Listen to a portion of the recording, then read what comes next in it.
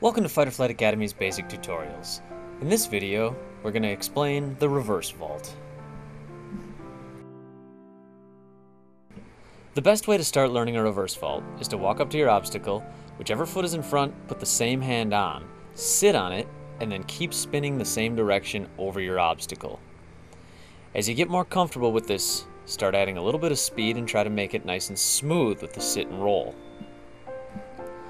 This all seems nice and simple and easy, but there are some things to remember.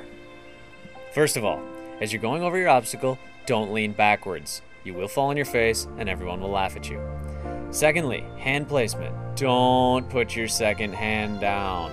As you progress into the full vault, you only have one hand if you want to have any power on this.